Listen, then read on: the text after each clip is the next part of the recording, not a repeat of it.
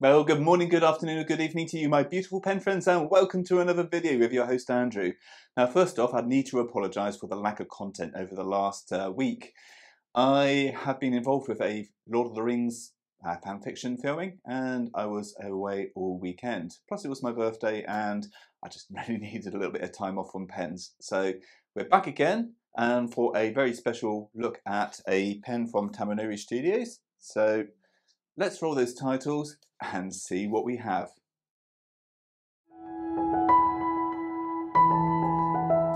Okay, ladies and gentlemen, so here we go. We've got the Wet and Wise pen by Tamenuri Studios. So beautiful, beautiful, beautiful. But before we actually get into the actual uh, main content of this video, I'm going to introduce you to Michael from Tamenuri Studios. He's going to talk a little bit about some of the finishing techniques. And whilst I'm at it, I should mention that if you go onto my Instagram TV, which I'll have a link to in my description below, there is a little interview with him which talks about some of the techniques which he used to make this pen and also a little bit of general information about the regional techniques in the different um, prefectures of Japan. So please do go and watch that.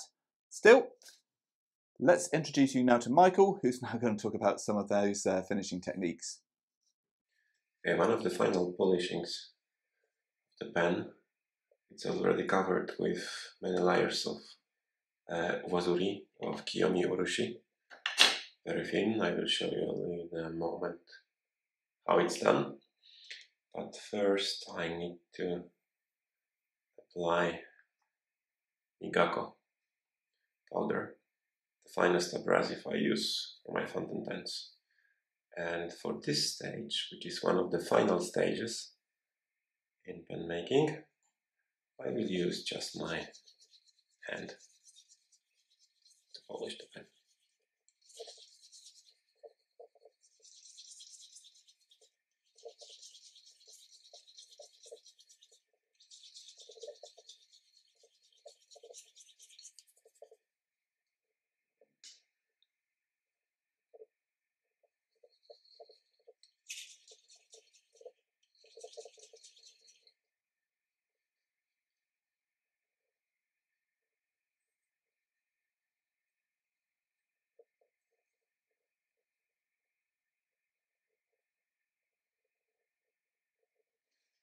And it's now polished and clean and I will apply last layer of Kiyomi Urushi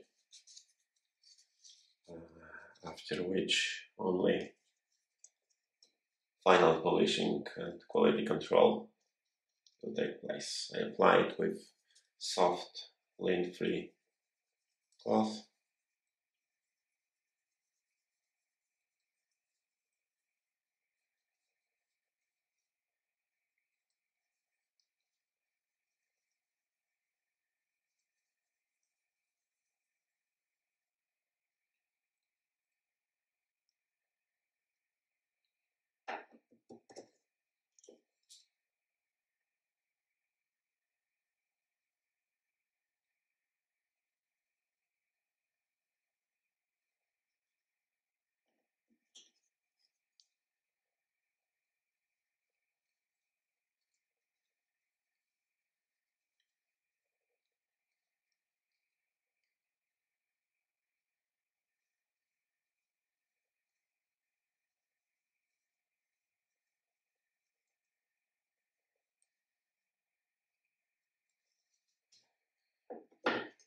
and leave for several seconds, uh, maybe minutes, and then I will rub it off. And now, after several minutes, I rub off Kiyomi Urushi. It leaves just a tiny amount of Urushi, which is mostly in the any micro scratches or pits on the pen and this in conjunction with polishing with Kiyomi Urushi gives this incredible gloss.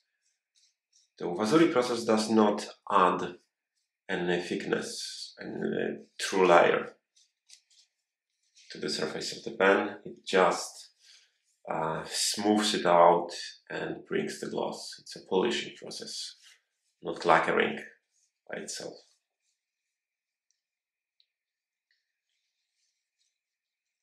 But still it requires curing and taking care of the pen the usual way. That's it. One last polish tomorrow and off we go. Okay, ladies and gentlemen, I hope you found that uh, informative. So let's have a look and see what we have in the box. And I'm going to give you some dimensions in a moment. So you're presented with this cardboard box, which has got this beautiful textured finish. Uh, we've got a, I'm guessing like a brass clip on here, and then it lifts up to present what you would be given. So inside we have got a little velvet um, pen pouch, which is very beautiful, matches the colour of the pen.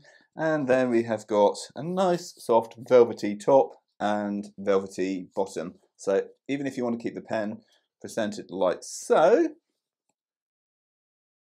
then it's going to um, protect your pen. Very nice. And especially with Urushi, even though it is very highly durable, you really want something to give it that little bit extra protection, um, especially with the fact that this pen isn't necessarily the cheapest thing in the world. Okay, so let's put this pen up before we crack on. And there we go, we've got the dimensions for the pen as well as the ink capacity. Okay, so let's have a look at this pen. Right, so this is the Karanuri finish, which Michael has talked about in my IGTV, and um, that little brief introduction on the, uh, the finishing techniques, and it really is beautiful. We've got five different shades of blue on here, with silver particles interspersed, and hopefully from the close-ups, which you can see right now, you should see that this pen really is quite exceptionally beautiful. And those little nuances of the red on the underlying layers really do shine through Okay, so let's start from the top of the pen and then work our way down. Okay, so from the top all the way down to the bottom, we'll start with the cap. We've got a flat top cap, flat top cap even, and then it uh, comes down onto the main barrel, which is very, very beautiful. Matches everything else on the appointments on the pen. There's no actual appointments in terms of trims or anything on here, so it makes it into a very simple and plain pen, which I love. Um, it's not flamboyant in that respect, only in perhaps the craft which has gone into actually making the finish. So let's just uncap the pen.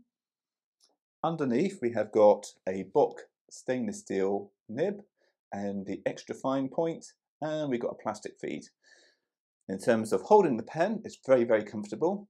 The section is relatively long and it tapers in ever so slightly in a slightest uh, bit of an hourglass shape. But yeah, it, it, it, flares down and it's just really, really comfortable. Um, the threads are non-obtrusive. And then underneath, we have got a Schmidt converter, which is titled Beaufort ink, which I believe Michael buys in, in, in bulk, or uh, Navi from Wet and Wise, which is uh, the pen is based on. So we'll talk a little bit about a little bit more about that uh, later on. Okay, so let's just put the barrel back on. And then it's a straight finish down to the end. There's no tapering on this whatsoever, like a lot of traditional pens. The pen doesn't post, and nor would you want to with it being Urushi. So hopefully this pen would be comfortable. I appreciate that there are some people which have got larger hands where this may be verging on something which might be a little bit too small for you, but Michael does have other models which you can look out for. And he does use quite a few models from Wet and Wise and also I believe he still um, collaborates with Ranga pens in India. So there is plenty of options for those who want to have um, a slightly larger pen. Now, whilst I am on the topic, uh, Michael doesn't do custom work anymore um, unless you're very special, okay? And I'm not special in any uh, shape or form, but he does not do custom work anymore. You can send him a pen to work on, but you have to allow him to do his craft on that pen in the way he sees fit. Now, you might be able to give him loose guidance to particular colours you like, but in terms of the finish and the techniques, it would be a, a mystery or he would um, discuss what he will do on that pen. Um, this does seem to be a bit of a growing trend for a lot of Urushi artists, and I can sort of understand it because you really, I, guess, when you're actually getting into doing uh, new things, uh, especially with Urushi, where there are so many different um, finishes on these pens, you don't want to really be stifled on particular finishes, and some can take absolutely ages to produce.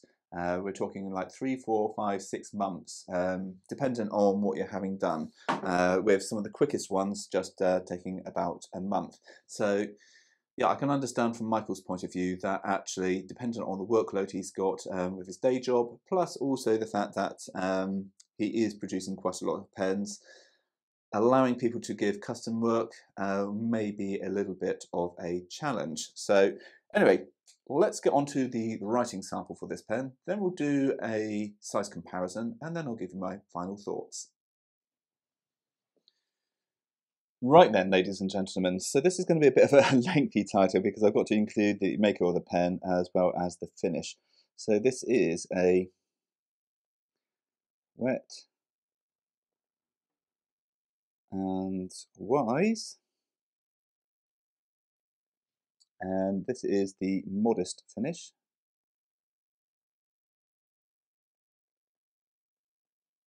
And this is a Tamenuri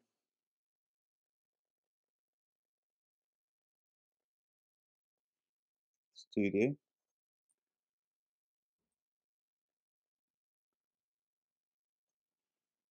And Karanuri.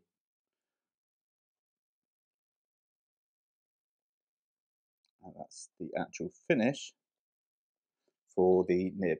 Sorry, for the um, for the pen. So the nib is an extra fine steel.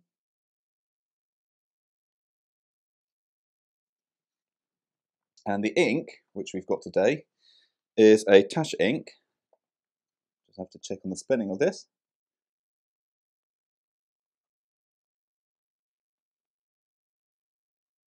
That's really beautiful in this pen. And this is Fukaki Hanada.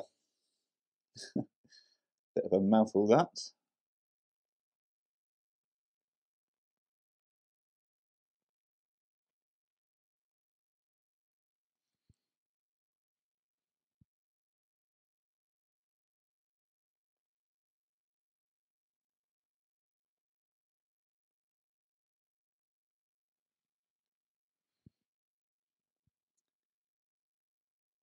Okay, so here comes the fun part of it.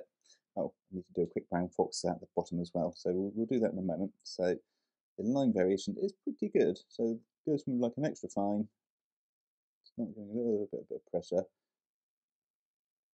and you can see you're getting a little bit of line variation out of there. Bock steel nibs are usually pretty springy, so can see, you can get a little bit of expression out of this steel nib. Obviously, nowhere near as going to, nowhere near as good as perhaps using a flex nib, but not too bad. Okay, so the paper we're using is Midori. So it's going to be pretty absorbent, but it's not too bad. That's one pass. Couple passes. Um, yeah, it's, it's pretty wet. Not too bad. Um, Okay, so let's just write out the quick brown fox. Um, I've got to put that on the, the top, so let's just make sure you guys can see this. Should have done that further up, but never mind.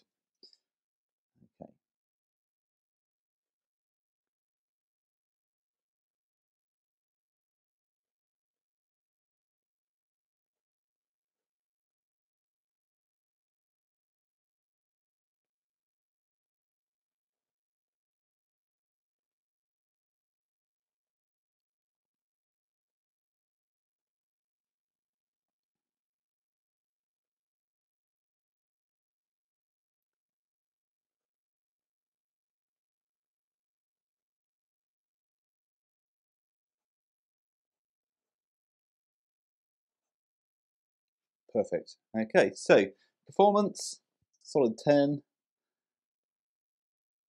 out of 10. It's absolutely fantastic. There's no skips, no hard starts. The ink feed is brilliant. Style, 10. obviously I'm a little bit biased on that by the fact that you know I have purchased this pen and I tend to buy pens which I like, but yeah, the the, the finish really is absolutely uh, spectacular. Flex, I'm gonna have to give it around about a three out of ten, but the value really is absolutely sublime. And for what 430 euros? You know you're, you're getting an Urushi pen which performs well and yeah absolutely brilliant. So but I'll talk more about that uh, in a moment. So let's just go on to doing some size comparisons and then I will finish it up with my thoughts and feelings. Okay okay so ladies and gentlemen um, starting from left and going to the right we have got a Sailor Pro Gear Slim and this is in the Vega finish then we've got an upcoming review coming for this uh, Pelikan M600 in red tortoiseshell. Then we've got the Tamenuri Studios Wet and Wise pen, which we are just looking at.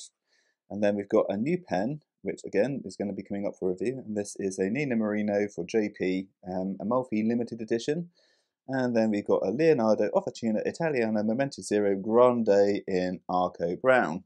So let's just get those uncapped and then you can see those in relation. Right, ladies and gentlemen, and here we go. We have got the pens now in relationship to each other. And as you can see, it's a, a fairly decent mid-sized pen. I would say the uh, the Amalfi by Nina Marino and the Leonardo are bigger, um, but they are considered oversized pens. So yeah, it's a regular sized pen. Anyway, let's go over to my thoughts and feelings on this pen, and then we will see you in another video. Okay, ladies and gentlemen, so what do I think about this pen? I absolutely love it and love it to bits. Michael, you are a genius when it comes to uh, Urushi, and I very much look forward to seeing more of your videos in the future.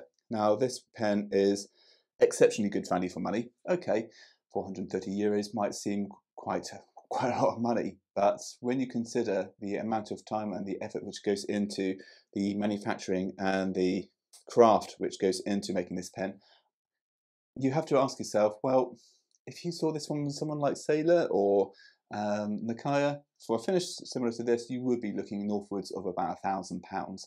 So yes, it does present excellent value for money in comparison to those companies. Now, of course, uh, Nakaya are infamous uh, for their pens, and I do own one, and I will continue to get them. But it's nice to know that there is a studio out there very much like um, Bokumondo, um, who also charges a very reasonable fee. If not, you have to wait a long time, but a very reasonable fee. That you can get some nice lacquerware between these two pens for a fraction of the price. Now, it is worth noting that Nakaya do exceptionally good value pens as well, but to get these really interesting finishes like this uh, Karanui, you will be paying a handsome, uh, handsome sum for it. Okay, so what don't I like so much about this pen? Well, actually, before I do that, one last thing.